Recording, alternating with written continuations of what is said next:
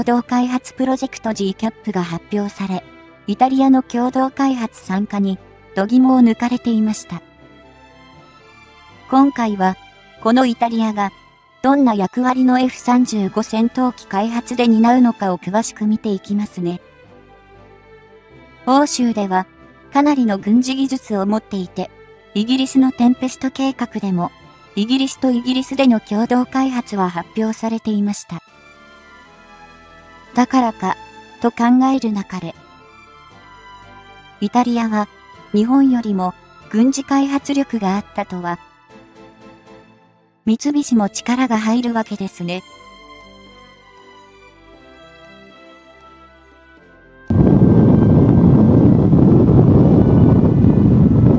2022年は日本の今後の防衛政策の在り方を考える上でも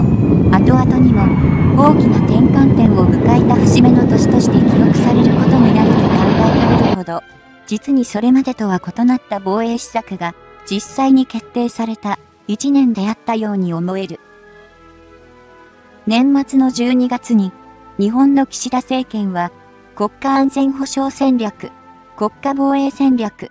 防衛力整備計画のいわゆる安保関連の3つの文書を改定して、その閣議決定を行い、日本の防衛力の戦術及び戦略レベルでの方針転換を明文化して、具体的な取り組みに反映させた。その中核となったのは、スタンドオフ能力の整備と拡張であり、これまでは、いわば、ほとんど国是としてその保有をする思考をしてこなかったとも言える。長距離攻撃が可能な兵器を保有、配備する方向へと、大きく舵を切った。そこでは、いずれも、射程距離が 1000km 以上となる兵器として、国産の当初防衛用の高速滑空弾や、一蓋式地対艦誘導弾の能力向上型、そして、アメリカからのトマホーク巡航ミサイルの調達などが注目装備として大きく報じられた。これらのスタンドオフミサイルは、かつては敵基地攻撃能力と呼ばれていた種類の兵器であり、昨今は自民党の有志をはじめとする提言から反撃能力と呼び名を改められ、政治的には今も一部の勢力から根強い批判にさらされている。そうした勢力は日本がそのような長射程の兵器を保有することだけを、ことさら大問題である、可能用にまくし立てているが、中国が、ディフェンダー17など、多数の中距離弾道弾を配備し、すでに、日本を、その射程距離内に置いていることは、どのように考えているのだとろうか。一蓋式地対艦誘導弾の能力向上型や、アメリカからのトマホーク巡航ミサイルの調達といった一連の動きは、それらの飛翔速度が、亜音速の兵器であることを理由に、有効ではないと断する主張も、時折見受けられるが、問題の本質ではないと思えてしまう。これらの兵器は、確かに飛翔する速度は、亜音速であるため、比較的容易に、敵の防空ミサイルシステム等で撃墜されてしまう可能性は高いが、そうした対応を敵側に強いるつまり、牽制行動を強制的に行わせうる兵器であることが狙いの一つだ。このところのロシア・ウクライナ戦争を見ても確かなように、ウクライナ側がロシア領内の軍事拠点を無人航空機等で攻撃しているのは、ロシアの航空戦力を無防備なまま運用させることを著しく阻害することを意図して行われていると感じられる。さて、そうした大きな防衛政策の転換と並行して、日本では F2 戦闘機の後継機の開発についても、従来のアメリカとの共同開発を諦めて、イギリスとイタリアと組んだ3カ国での実施に踏み出すことを正式に発表した。すでに2021年頃からイギリスの航空機エンジン開発の大手製造業であるロールス・ロイス社との協調や、それ以前にもイギリスの防衛企業のたけし、BAE システムズ社が進めるテンペスト計画へ、非凡を誘引する動きも、たびたび話題にはなっていた。それでも、日本の次期戦闘機開発は、日本が主導するという立場を堅持しつつも、やはり F35 ライトニング2頭を有し、今の西側諸国の標準とも言える立場を確立している、ロッキード・マーチン社の技術支援は必須と考えられてきた。最終的には、アメリカ側やロッキード・マーチン社からすれば、日本の次世代戦闘機が、開発後に収益が見込まれる2035年という時期や、機体に求められる要件が、いわゆる第5世代戦闘機の域を出ず、協力する利点が薄いと判断されたとも伝えられている。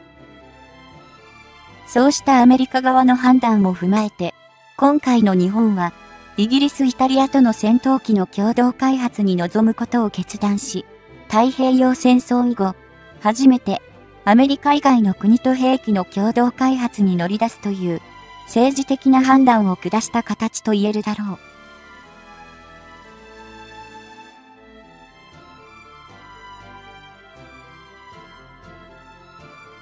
今回の日本、イギリス・イタリアの3カ国による戦闘機開発プロジェクトは GCAP グローバルコンバットエアープログラムと呼称されることが決まり、戦闘機単体というよりシステムそのものの構築を施行していると思われる。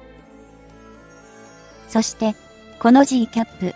グローバルコンバットエアープログラムに際して、日本では全体の統括を三菱重工業者、機関部を IHI 社、アビオニクス等の電子関連を三菱電機社が担当する体制で推進することが打ち出されている。この体制は、次期戦闘機開発にあたり、アメリカのロッキード・マーチン社を技術支援先に想定していた当初より想定されてたもので、その意味においては、日本側に何か新たな動きが行われたというわけではないとも言えるだろう。同様に、イギリスでは、全体の統括を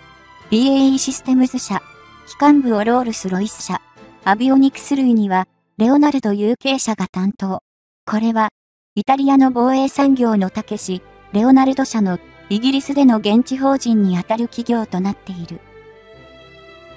そして、イタリアでは、全体の統括、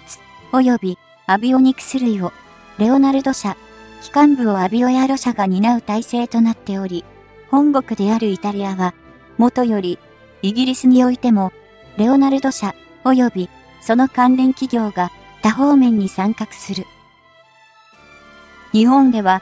若干馴染みが薄いかもしれないが、レオナルド社は、正式名称を、レオナルド SPA と言い、この社名に改められたのは、ちょうど、今から5年前の2017年1月のことで、それ以前は、フィンメッカニカ社と呼ばれていた企業である。レオナルド社は、売上規模の上からも、イタリア国内では、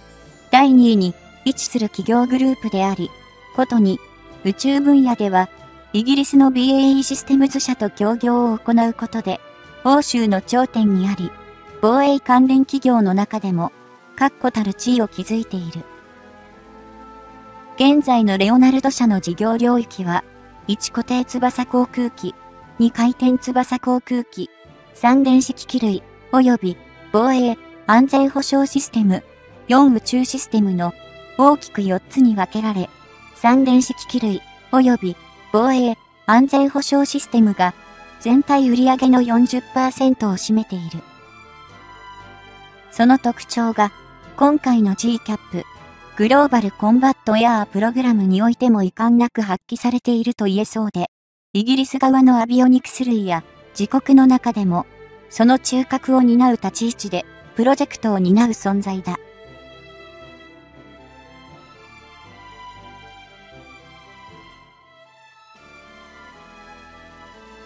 現在のイタリア空軍は、2003年からユーロファイター台風を94機調達しており、また F35 ライトニング2についても、2015年から空軍が型60機、B 型15機、海軍が B 型15機の計90機を調達する予定となっている。もともと、イタリアでは最大で131機の F35 ライトニング2のシリーズを調達する計画が立てられていたが、慢性的な予算不足で削減が求められて90機まで減少しており、未だ、その数自体も最終的に確定されたとは言い難い状態とされている。イタリアとしては、ユーロファイタータイフーンの代替機を検討する必要に迫られているが、現時点で、ハジーキャップ、グローバルコンバットエアープログラムで生み出される機体が、それに採用されるのかまでは明言されていない。ただし、対 G キャップ、グローバルコンバットエアープログラムに開発に関与しながら、その成果物を自国で採用しないという選択肢は考えづらいので、いずれ政治的にもそれに関するコメントが出されると見てよいだろう。ちなみに、イギリスはユーロファイター台風を144機保有、運用しているため、同イタリアの94機や日本の F2 戦闘機の94機と単純に同数必要と見れば、切れたケデジーキャップ、グローバルコンバットエアープログラムには、優に300機を超すニーズが存在している。